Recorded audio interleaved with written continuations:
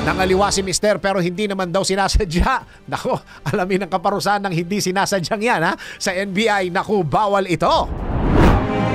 Alamin kung bawal o hindi. Dahil kung di mo alam to, kaso ang kakaharapin mo sa NBI. Nako, bawal ito.